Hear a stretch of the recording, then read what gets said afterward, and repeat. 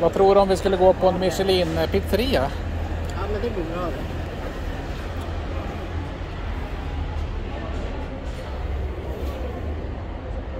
Så, det kan, det kan ju inte vara dåligt. Så vi, vi går in här. Det löste sig.